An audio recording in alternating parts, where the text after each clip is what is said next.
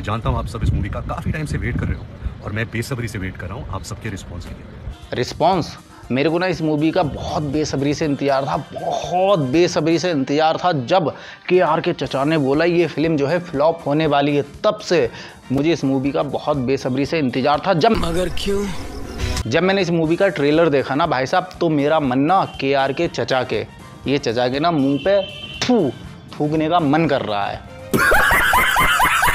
भाई साहब ट्रेलर देख के मेरे होश उड़ गए। जो लोग कहते हैं ना बॉलीवुड की नैया जो है डूब गई है।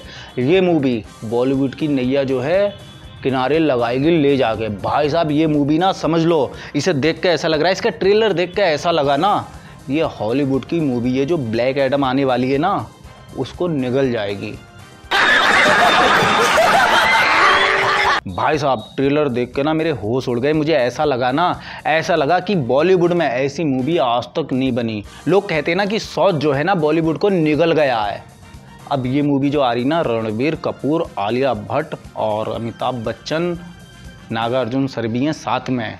ये मूवी आ रही ना ये मूवी जो है ना साउथ इंडस्ट्री को निगल जाएगी समझ लो।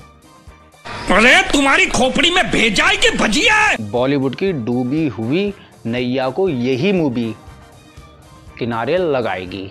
सही बात है। ट्रेलर देखकर ना बहुत मज़ा आया बहुत ज़्यादा मज़ा आया। ये मूवी ये मूवी जिस दिन रिलीज़ होगी ना उस दिन फ़र्स्ट शो 50 किलोमीटर दूर जाकर देख के आऊँगा थिएटर में। मूवी ज़रूर देखूँगा। भाई साहब आप लोगों को ट्रेलर कैसा लगा इस मूवी का? कमेंट बॉक्स में कमेंट करके बता देना। और के आर के चचा के ना ये चचा जो है ना इसके मुँह पे थूकने का मन कर रहा है। बाय। गजब बेइज्जती है।